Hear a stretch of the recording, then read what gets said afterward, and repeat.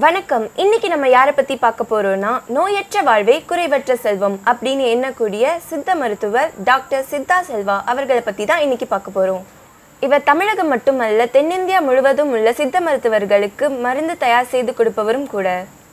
ஒவ்வொரு சித்த மருத்துவர்களுக்கு மட்டுமே தெரிந்த சித்தா செல்வா அவர்கள் இனி எல்லா மக்களுக்கும் அறிமுகமாக போகிறார். வணக்கம் டாக்டர். ஆ, வணக்கம்மா. நோயற்ற வாழ்வே குறைவற்ற செல்வம். எவ்வளோ பணம் இருந்தாலும் எவ்வளோ புகழ் இருந்தாலும் ஆரோக்கியமாக இருந்தால் தான் அதை அனுபவிக்க முடியும். அதனால் வந்து ஆரோக்கியத்தை வந்து நல்லா பார்த்துக்கணுமா? அப்போ வந்து பணத்தையும் புகழையும் சம்பாதிச்சுக்கலாம். நன்றி டாக்டர். நீங்க சித்த மருத்துவத்தை எத்தனை வருஷமா பண்ணிட்டு இருக்கீங்க? உங்க முன்னோர்களும் சித்த மருத்துவரா? நான் ஒரு முப்பத்தஞ்சு வருஷமாக சித்த மருத்துவம் பார்த்துட்டு இருக்கேன். எங்கள் முன்னோர்கள்லாம் ரங்கூன் மலேசியா சிங்கப்பூர்ல எல்லாம் அந்த சூழவாயுக்காக பார்த்துருக்காங்க.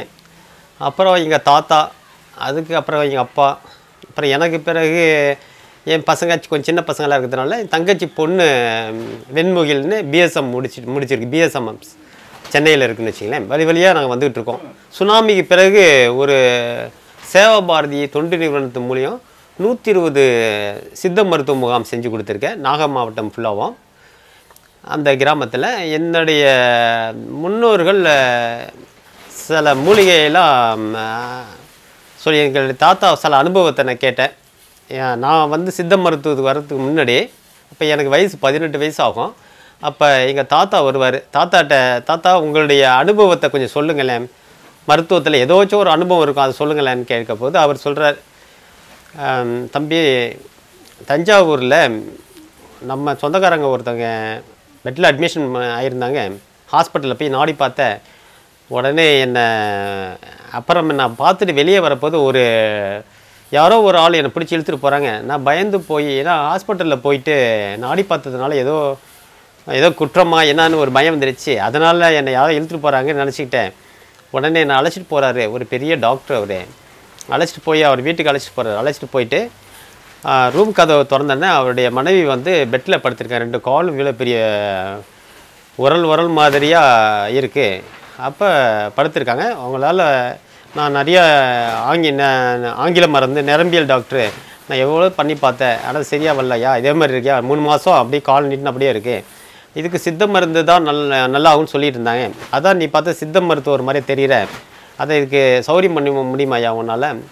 ஆ இருக்கியா? எங்கள் ஊரில் இந்த கிராமத்தில் போயிட்டு சில மூலிகைலாம் இருக்குது அதெல்லாம் எடுத்து நான் தயார் பண்ணி கொண்டு வந்து பத்தியம் போட்டு இந்த மருந்தை தர ஒரு நான் ஒரு ஒரு வாரத்தில் எழுந்துச்சு நடக்க வைக்கிறேன் அப்படியா? சரி அப்போ சரி மருந்து நீ இப்போ எடுத்து வந்துடுறியான்னு சொல்லிட்டு ஏதோ ஒரு பணம் அப்போ அந்த நேரத்தில் ஒரு ஐநூறுரூவா பணம் கொடுத்துருக்காரு. பெரிய காசுன்னு வச்சிங்களேன் அதை எடுத்துக்கிட்டு அவர் அங்கே அந்த கத்திரிப்புலம்னு ஒரு உள்ள உள்ள ஒரு கிராமத்துக்குள்ளே வந்து அவர் அவர் ஊர் எங்கள் ஊர்னு வச்சிங்களேன் அந்த ஊரில் சிவனார் வேம்பு சீந்தில் கொடி கொடிவெள்ளி வேறு பெரப்பங்கிழங்கு மிளகுச்சார்னர் வேறு சட்டுக்குமலம் வேறு சங்க வேறு இது மாதிரியான மூலிகை எல்லாம் மண்ணுக்குள்ளே உள்ள மூலிகையும் இதெல்லாம் எடுத்து மருந்து ரெடி பண்ணுங்க. ரெடி பண்ணி அப்புறம் ரெடி பண்ணி கொண்டு போய் போகிறார் தஞ்சாவூர் போயிட்டு ஒரு பேதி கொடுத்துட்டு மருந்து கொடுக்குறார். காலையில் ஒரு உருண்டை மாலையில் ஒரு உருண்டை கருப்பட்டிக்குள்ளே வச்சு புளிலா பத்தியம் போடுறார். போட்டோன்னே அந்த அம்மா நீ எங்கேயும் போகக்கூடாதுய்யா அங்கேயே தங்கிரு. ஆஹ் வீட்டுக்கு தனியாக ரூம் கொடுத்துட்டார் எங்கள் தாத்தாவுக்கு. அதோட அங்கே தங்கியிருக்காரு. ஒரு மூணாம் நாள் டாக்டர் எழு எழுந்தி கதவை தட்டுறாரு. விடிய காலம் நாலு மணிக்கு கதவை திறந்தோன்னே இவரை பிடிச்சி மேலே மேலே தூக்கி தூக்கி போடுறாரு. தூக்கி தூக்கி போட்டோன்னே பயந்து போய் என்ன ஆச்சுன்னு பார்க்குறேன். அவர் ஒய்ஃபு வந்து எழுந்திரிச்சு நின்று நடக்கிறாங்க. வீ- வீக்கமெல்லாம் வடிஞ்சு போச்சுன்னு சொன்னார்.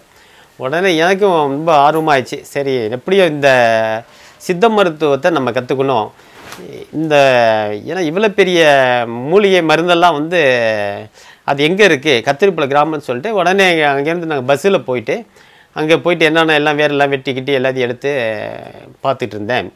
அதுலேருந்து எனக்கு வந்து அப்போ எனக்கு வந்து வயசு பதினெட்டு வயசு ரொம்ப இன்ட்ரெஸ்ட் ஆகிட்டேன் அப்பயே நான் மருத்துவ ஃபீல்டுக்குள்ளே மருத்துவம் பார்க்க ஆரம்பிச்சிட்டேன். இந்த தாத்தாவோட கதையை கேட்டேன்னே இந்த சித்த மருத்துவ அவருடைய அனுபவத்தை கேட்டேன் எனக்கு கடுமையான இன்ட்ரெஸ்ட் நானும் மருத்துவம் பார்க்கணும் சித்த மருத்துவம் பார்க்கணுன்னு எனக்கு ஒரு இன்ட்ரெஸ்ட் ஆகிட்டு அதுக்கு பிறகு எங்கள் அப்பாவும் பார்த்துட்டு இருக்காரு. சரி அப்போ வந்து நான் ஃபஸ்ட்டு மீனவர் ஏரியா அப்புறம் அதை சுற்றி ஒரு பத்து கிராமங்களில் மருத்துவம் பார்த்துட்டு இருக்கேன் வந்தேன்.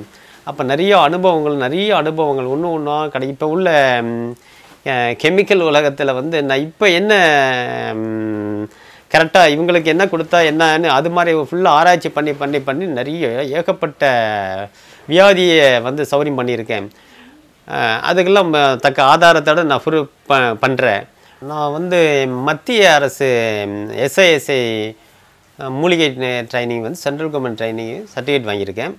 அப்புறம் லோக்கலில் வந்து சர்வீஸ் சர்டிஃபிகேட்னு ஆர்ஐ தாசில்தார்லாம் சேர்ந்து ஒரு சைன் பண்ணி ஒரு சர்டிஃபிகேட் வாங்கியிருக்கேன். நான் வந்து பாரம்பரியமாகவும் செய்துட்டு கவர்மெண்ட் அங்கீகாரத்தோட நான் செய்து கொண்டு இருக்கேன். ஒருத்தவரை பார்த்த உடனே அவர் ஆரோக்கியமானவரா இல்ல நோய்வாய்ப்பட்டவரா அப்படின்னு உங்களால கணிச்சு சொல்ல முடியுமா? ஒரு பேஷண்ட் ந நடந்து வரப்போது அவங்கள அவங்க நடைய வச்சு அவங்களுக்கு என்ன வியாதி இருக்குன்னு அஹ், ஓரளவு கண்டுபிடிக்க முடியும். வந்து நாடி பார்த்து பித்தவாத கபத்தை பார்த்து அவங்களுடைய உடம்புல உள்ள வியாதிக்கு தகுந்தாப்புல மருந்தும் கணிச்சு கொடுக்க முடியும். பொதுவான ஒரு வியாதிக்கு ஒரே மருந்தே எல்லாருக்கும் கொடுப்பீங்களா? இல்லை தனித்தனியாக தயார் செஞ்சு கொடுப்பீங்களா? ஒரு மூணு பேர் ஒரு உடம்பு சரியாமல் வெட்டச்சூடுன்னு வராங்கன்னு. ஆனால் அவங்களுக்கு ஒரே மருந்து கொடுக்க முடியாது. ஆனால் ஒரு உடம்பு வந்து ஒல்லியான திரா ஒரு மரு ஒரு உடம்பு வந்து நல்ல குண்டாக இருப்பாங்க.